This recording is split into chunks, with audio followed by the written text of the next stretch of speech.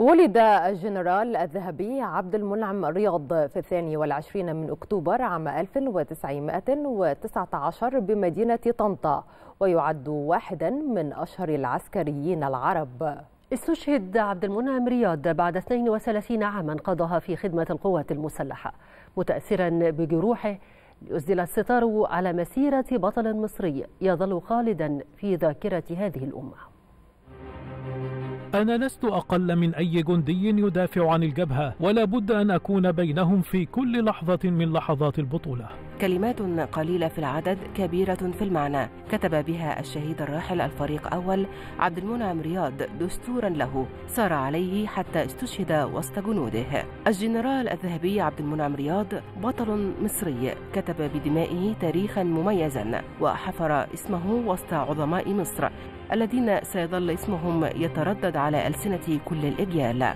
ولد الجنرال الذهبي في الثاني والعشرين من أكتوبر في 1919 في قرية سبيرباي بمدينة طنطا ويعتبر واحدا من أشهر العسكريين العرب حيث شارك في الحرب العالمية الثانية بين عام 41 و 42 وشارك في حرب فلسطين في عام 1948 والعدوان الثلاثي في عام 56 وفي الثلاثين من مايو 67 عين الفريق قائدا لمركز القيادة المتقدم في عمان وأعلن قائدا عاما للجبهة الأردنية ولكن لم يمض أسبوعا حتى استدعى الرئيس الراحل جمال عبد الناصر ليعينه في الحادي عشر من يونيو رئيسا لأركان حرب القوات المسلحة المصرية. فبدأ مع وزير الحربية والقائد العام للقوات المسلحة الجديد الفريق أول محمد فوزي إعادة بنائها وتنظيمها. فبدأ الإعداد لحرب أكتوبر ونفذ جنود مصر البواسل عددا من العمليات الناجحة في عهده.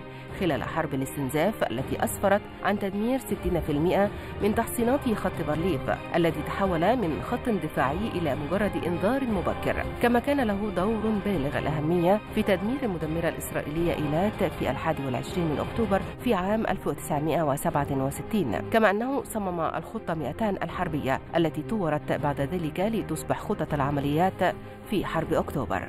ساهم عبد المنعم رياض في تغيير المعادلات العسكرية إذ بدت بصماته جلية في حرب المدرعات اعتبارا من العام 1968 بعدما أوصى بتدريب جنود المشاة عليها في سرية شديدة ليصبح الجندي المصري في حرب أكتوبر مدمرا للدبابة. وفي صبيحة يوم التاسع من مارس قرر عبد المنعم رياض أن يتوجه بنفسه إلى الجبهة ليرى نتائج المعركة ويشارك جنوده في مواجهة الموقف. وقرر أن يزور أكثر المواقع تقدما التي لم تكن تبعد عن مرمى النيران الإسرائيلية سوى 250 مترا. ووقع اختياره على الموقع رقم 6 وكان أول موقع يفتح نيرانه بتركيز شديد على دشم العدو في اليوم السابق وفجأة بدأ الضرب يقترب. وبدأت النيران تغطي المنطقة كلها وكان لابد أن يهبط الجميع إلى حفر الجنود في الموقع.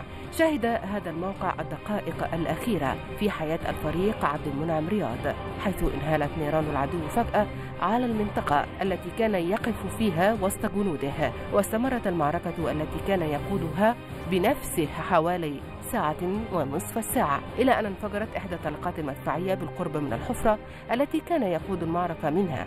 ونتيجة للشظايا القاتلة وتفريغ الهواء أصيب ونقل إلى مستشفى الإسماعيلية والتي استشهد فيها عبد المنعم رياض بعد 32 عاما قضاها في خدمة القوات المسلحة متأثرا بجروحه.